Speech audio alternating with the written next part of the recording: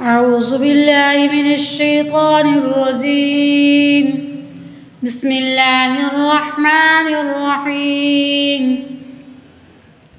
يا أيها النبي إذا طلقتم النساء فطلقوهن لعدتهن لعدتهن وأحصوا العدة واتقوا الله ربكم. لا تخرجوهن من بيوتهن ولا يخرجن إلا أن يأتين إلا أن يأتين بفاحشة مبينة. وتلك حدود الله.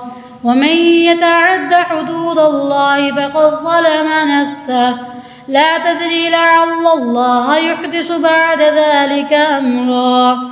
فإذا بلغنا أجلهن فأمسكوهن بمعروف أو فارقوهن بمعروف أو فارقوهن بمعروف وأشهدوا ذوي عدل منكم وأقيموا الشهادة لله.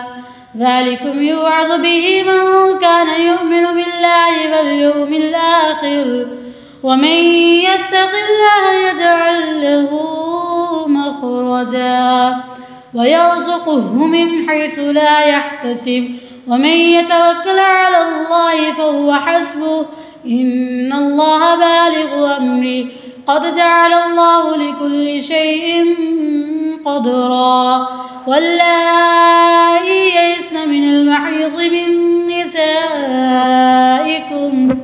من نسائكم إن ارتبتم فعدتهن ثلاثة أشهر أشهر واللائي لم يحض. وولاة الأحمال أجلهن أن يضعن حملهن. ومن يتق الله يجعل له من أمره يسرا.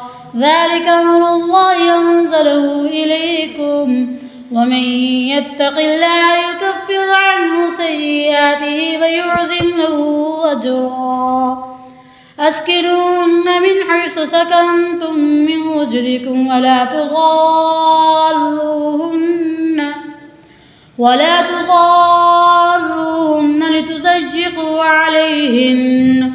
وإن كن أولات حمل فانفقوا عليهن حتى يضعن حملهن. فإن أرضعن لكم فاتوهن أجورهن. وأتمروا بينكم بمعروف. وإن تعسرتم فسترجع له أخرى لينفق ذو سعة من سعته.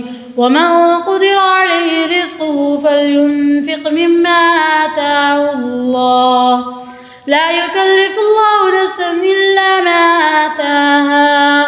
سيجعل الله بعد عسر يسرا. وكأي من قرية عتت عن أمر ربها ورسله فحاسبناها فحاسبناها حسابا شديدا وعذبناها عذابا نكرا. فذاقت وبال أمرها وكان عاقبة أمرها خسرا. أعد الله لهم عذابا شديدا. فاتقوا الله يا أولي الألباب الذين آمنوا. قد أنزل ذكرا. رسولا يتلو عليكم آيات الله مبجنات ليخرج الذين مبجنات ليخرج الذين آمنوا وعملوا الصالحات من الظلمات إلى النور. ومن يؤمن بالله ويعمل صالحا يدخله جنات يدخل جنات تجري من تحتها الأنهار خالدين فيها أبدا. قد أحسن الله له رزقا. الله الذي خلق سبع سماوات ومن الأرض مثلهن. يتنزل الأمر بينهن لتعلموا أن الله على كل شيء قدير.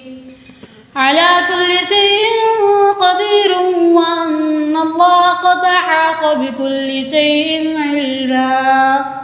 صدق الله العظيم.